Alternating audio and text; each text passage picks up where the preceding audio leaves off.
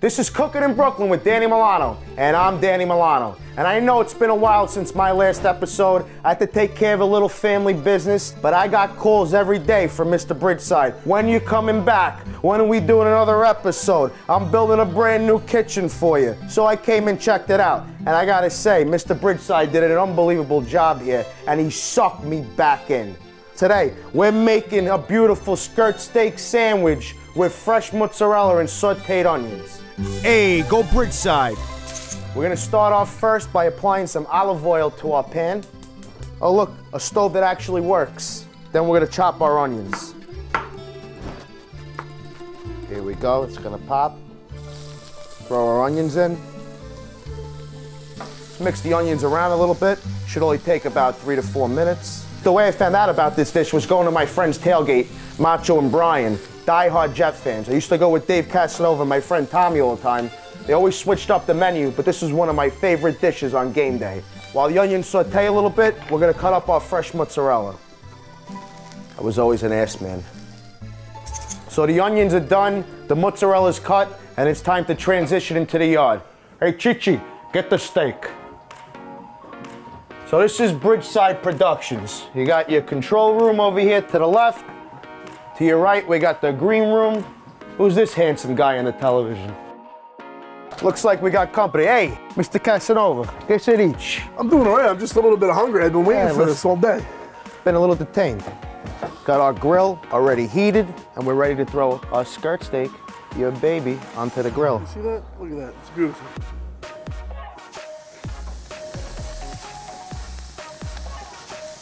We're gonna close this up.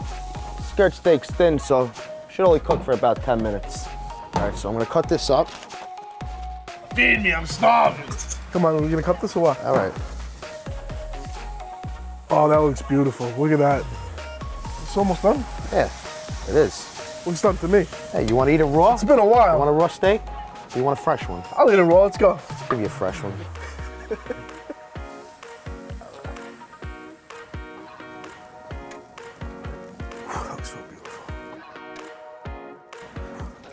All right. Got the steak ready, and now it's time to cut this baby up.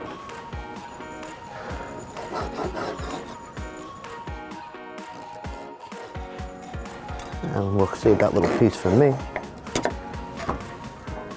Ah, it doesn't want to go. All right. And they, and it is what it is. All right, so let's get this ready. Let's get our Italian bread.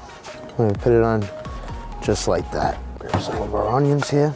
We're gonna spread the onions out. We're gonna take a piece of mozzarella, that right there. Close that up. Steak number two. And last but not least, we're gonna grab our tin foil, our steak. Hey Dan, why are you putting it in foil? because we're gonna place these sandwiches back into the grill until the fresh mozzarella melts. Nice.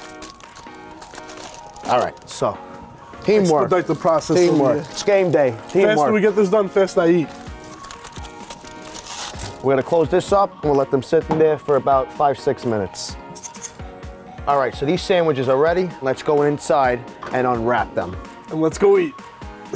Andiamo. And we're back into the kitchen, baby. Woo! All right, Dave. You've been patient. I'm proud of you. Now, let's unwrap this baby. It's been a long time coming. Oh, yeah. Woo! Look at that mutz. Look at that mutz. Look at that mutz. Woo! My God, Huh? How's that look, Davey? that's unbelievable. And there it is. Easy, simple, and delicious. The perfect sandwich for game day. Buon appetito, Dave. Thank you. I know you've been waiting. And the animal is back too. So how is it, Dave? It's delicious. It's the perfect dish for game day. I think I just said that. I don't know if I'm, Uh, did you? I don't know, did I? How about the onions? What about 'em? Never mind. Look at that cheese, huh? Dan, this dish was so delicious, I'm about to cry. Don't worry, anytime, Dave, anytime. And this has been another Cooking in Brooklyn. I want you guys to try the dish at home. I want you to comment, let us know how it came out. And if you haven't yet, make sure you like and subscribe to the Bridgeside Network. It's good to be back, Dave, let me tell you. When I finally thought I was out, they pulled me back in. Go Bridgeside. Hey, I know I just said it, and I don't like to repeat myself, but when you get a chance, please like and subscribe to the Bridgeside Network. And Cooking in Brooklyn is back and better than ever. So make sure you watch our next episode where I make a costoletta parmesan.